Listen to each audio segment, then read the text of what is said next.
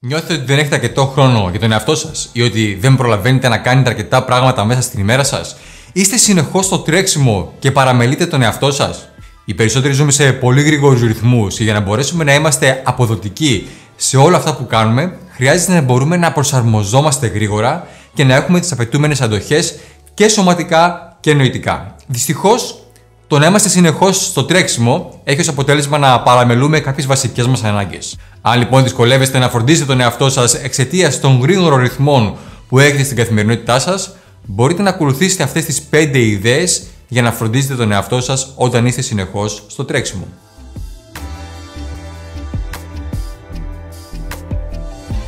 Γεια σας, είμαι ο Θοδωρής Αραμπατζής, συγγραφέας του βιβλίου Ακαταμάκτο Δικτυακό Marketing, δημιουργός του GreekCoach.gr και του προγράμματος Επαγγελματίας του Μέλλοντος στο futurepro.gr και αυτό που κάνω είναι να βοηθάω ανθρώπους που ασχολούνται με το δικτυακό marketing και την online και offline επιχειρηματικότητα να πετύχουν με απλό τρόπο. Αν είστε καινούργιοι στο κανάλι μου και στα βίντεο μου, κάντε subscribe πατώντας το κόκκινο κουμπί, γιατί ανεβάζω ένα καινούργιο βίντεο κάθε εβδομάδα με ιδέες που θα σας βοηθήσουν και στη ζωή σας αλλά και στην εργασία σας. Επίσης, μπείτε και στο networkpavlamarketing.gr και στο greekcoach.gr, θα βρείτε το link στην περιγραφή και θα βρείτε εκεί πέρα μέσα περισσότερα από 900 άρθρα, βίντεο και ιδέες που μπορούν να σας βοηθήσουν.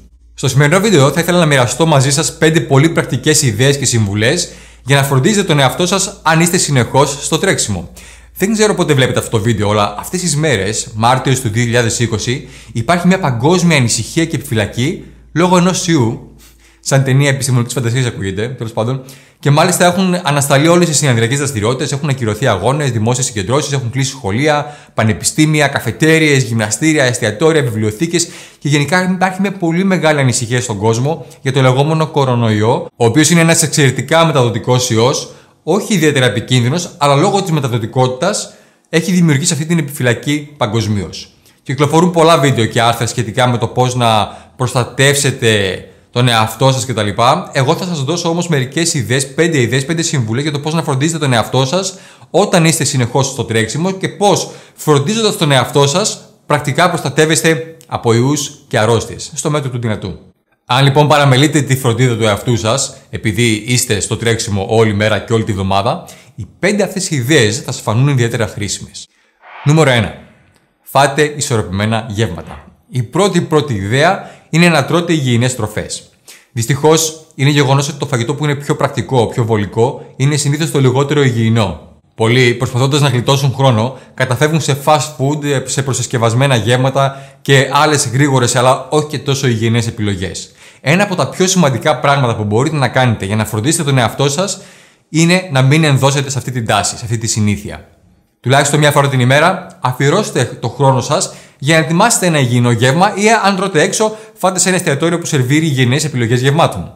Πιείτε πολύ νερό, έχετε κοντά σας υγιεινά σνάκ όπως φρούτα, ξηρούς καρπούς, λαχανικά, δημητριακά και γενικά το να λαμβάνετε φυσικά συστατικά πλούσια σε βιταμίνες, σε φυτικές ίνε και σε υγιεινά λιπαρά μπορεί να μεταμορφώσει την πνευματική αλλά και τη σωματική σας υγεία. Το να κάνετε υγιεινά και καλής ποιότητας γεύματα όταν είστε στο τρέξιμο είναι πάντα κάτι χρήσιμο. Σας δίνει ενέργεια, υγεία και αντί το σώμα σας να παίρνει το αίμα από τον εγκέφαλο για να χωνέψει ένα βαρύ και ανθυγιεινό γεύμα, χρησιμοποιεί το υγιεινό αυτό γεύμα ως καύσιμο για να υποστηρίξει ένα δραστήριο τρόπο ζωής.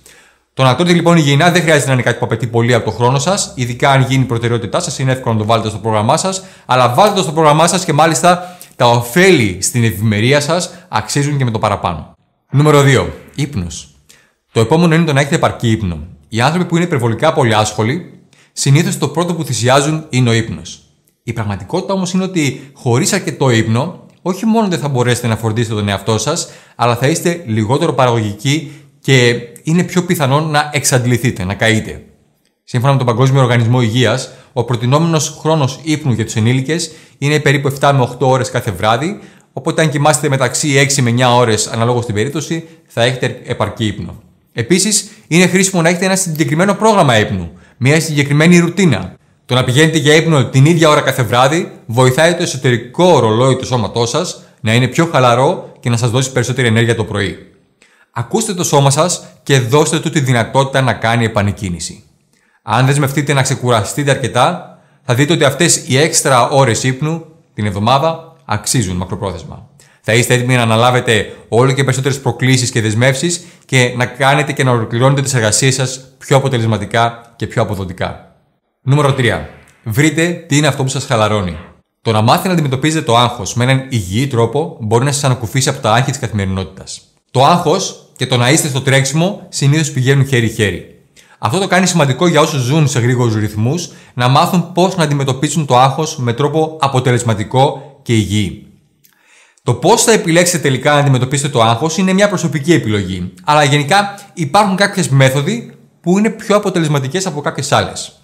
Μια μέθοδος που βοηθάει στον έλεγχο και στην ανακούφιση από το άγχος είναι ο διαλογισμός. Ο διαλογισμός σας επιτρέπει να καθαρίσετε το μυαλό σας και να χαλαρώσετε, λειτουργώντας ως ένας τρόπος για να κάνετε μια επανεκκίνηση σε οτιδήποτε μπορεί να σας άγχωνε όλη μέρα. Μια άλλη μέθοδος είναι η γιόγκα, που συνδυάζει το διαλογισμό, τις αναπνοές και τη σωματική δραστηριότητα. Και μια άλλη μέθοδος είναι το τρέξιμο. Το να αφιερώνω 20-30 λεπτά ή 45 λεπτά στη φύση για ένα χαλαρό ή και έντονο τρέξιμο βοηθάει στο να καθαρίσει το μυαλό μου από στροσογόνες σκέψεις και να μπορώ να κάνω μια πολύ καλή νοητική επανεκκίνηση. Οποιαδήποτε μέθοδο ανακούφισης από το άγχος και αν αποφασίσετε ότι ταιριάζει καλύτερα σε εσάς, είναι σημαντικό να έχετε στη ζωή σας μια υγιή διέξοδο ανακούφισης από το άγχος. Νούμερο 4. Αφιερώστε χρόνο με την οικογένειά σας και τους φίλους σας. Το τέταρτο είναι να αφιερώνετε χρόνο με τους ανθρώπους για τους οποίους νοιάζεστε περισσότερο. Κάτι κοινό ανάμεσα στους ανθρώπους που βρίσκονται συνεχώς στο τρέξιμο είναι το γεγονός ότι πολλά σημαντικά πράγματα συχνά θυσιάζονται επειδή δεν έχουν χρόνο. Δυστυχώς, ένα από τα πράγματα που θυσιάζεται είναι ο χρόνος με την οικογένεια και τους φίλους. Για τη δική σας ευημερία όμως, όπως και για το καλό των ανθρώπων για τους οποίους νοιάζεστε, είναι απαραίτητο να περνάτε χρόνο μαζί τους. Αυτό μπορεί να είναι το να τρώτε πρωινό ή βραδινό μαζί, ή το να μην εργάζεστε ένα Σάββατο για να βγείτε μια βόλτα με τους φίλους σας. Για μένα προσωπικά είναι ότι π.χ. συχνά την Κυριακή το πρωί, μετά το τρέξιμο, θα βγω για καφέ με τον φίλο μου τον Γιώργο. Την Κυριακή ή τη Δευτέρα το απόγευμα θα κάνουμε κάτι με τα παιδιά, μια βόλτα ή κάτι τέτοιο. Παρασκευή απόγευμα έχω πρόβλημα με το συγκρότημα, οπότε θα δω τους φίλους μου εκεί. Πέμπτη πρωί θα πάμε για καφέ στη γιαγιά μου. Ό,τι και αν σημαίνει για εσάς το να περνάτε χρόνο με τους ανθρώπους για τους οποίους νοιάζεστε, βεβαιωθείτε ότι θα βρείτε τον τρόπο να το βάλετε στο πρόγραμμά σας. Όσον αφορά λοιπόν το να φροντίζετε τον εαυτό σας και τους άλλους, αυτό είναι κάτι πολύ πολύ σημαντικό. Νούμερο 5. Δώστε στον εαυτό σας τη δυνατότητα να κάνει ένα διάλειμμα. Βάλτε οπωσδήποτε στο πρόγραμμά σας λίγο χρόνο για τον εαυτό σας. Όσο σημαντικό και αν είναι το να περνάτε χρόνο με τους ανθρώπους σας, την οικογένειά σας, τους φίλους σας κτλ., τόσο σημαντικό είναι να περνάτε και λίγο χρόνο μόνοι σας. Αυτό δεν συμπεριλαμβάνει φυσικά το χρόνο που είστε μόνοι σας στην εργασία σας, αλλά περισσότερο έχει να κάνει με τον χρόνο που αφιερώνετε μόνοι σας για να χαλαρώσετε, να απολαύσετε μια δραστηριότητα, να κάνετε κάτι με τον εαυτό σας δηλαδή. Σω να θέλετε να αφιερώσετε λίγο χρόνο για να διαβάσετε κάτι, ή να γράψετε στο ημερολόγιο σας, ή να κάνετε ένα καυτό μπάνιο, να βγείτε ένα περίπατο ή οτιδήποτε άλλο. Είναι γεγονός ότι όλοι χρειάζονται λίγο χρόνο τον εαυτό τους μία στο τόσο, ώστε να μπορέσουν να διατηρήσουν την πνευματική τους υγεία. Και συνήθως αυτοί που έχουν πολύ φορτωμένο πρόγραμμα έχουν πολύ λίγο χρόνο μόνοι τους. Όπως και με τις άλλες από αυτές τις πέντε ιδέες, όταν λέω να αφιερώσετε λίγο χρόνο τον εαυτό σας, δεν σημαίνει ότι θα πρέπει να αφιερώσετε 5 ώρες την ημέρα για να κάνετε κάτι με τον εαυτό σας κάθε μέρα. Ακόμα και 20-30 λεπτά πριν ξαπλώσετε το βράδυ ή νωρίς το πρωί, θα μπορούσαν να κάνουν τεράστια διαφορά στην ευημερία σας. Το να έχετε έναν ισορροπημένο τρόπο ζωής είναι απαραίτητο για την επιτυχία σε όλες τις πτυχές της ζωής σας, είτε είναι η εργασιακή σας ζωή, είτε είναι η προσωπική σας ζωή. Αν εφαρμόσετε αυτές τις ιδέες στο γεμάτο πρόγραμμά σας, θα κάνει αυτές τις μεγάλες και δύσκολες εργασίες και projects να φαίνονται λιγότερο στροσογόνα.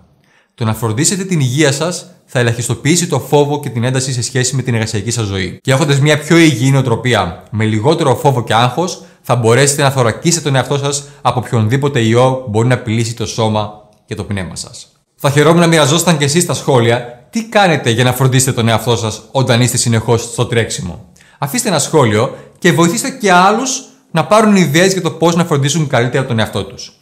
Αν νιώθετε ότι δεν έχετε αρκετό χρόνο για τον εαυτό σας ή ότι παρότι τρέχετε όλη μέρα δεν προλαβαίνετε να κάνετε αυτά που είναι σημαντικά για εσά, αν βλέπετε αυτό το βίντεο στο YouTube, πατήστε εδώ για να παρακολουθήσετε μια δωρεάν εκπαίδευση που είχα κάνει, στην οποία μοιράζομαι 21 ιδέες για την αποτελεσματική διαχείριση του χρόνου σας. Αν το βλέπετε το βίντεο αυτό οπουδήποτε αλλού, θα βρείτε το, το link στην περιγραφή. Ελπίζω να βρήκατε χρήσιμο το σημερινό βίντεο. Αν το βρήκατε, κάντε ένα like, αφήστε ένα σχόλιο και επίσης θα το εκτιμούσα ιδιαίτερα αν το μοιραζόσασταν με άτομα που πιστεύετε ότι θα τους βοηθούσε. Κάντε πράξη τι σημερινές ιδέες, αφιερώστε λίγο χρόνο για να φροντίσετε τον εαυτό σας, ειδικά αν είστε συνεχώς στο τρέξιμο Είμαι ο Θοδωρής Αραμπατζής και θα τα πούμε στην κορυφή. Γεια σας.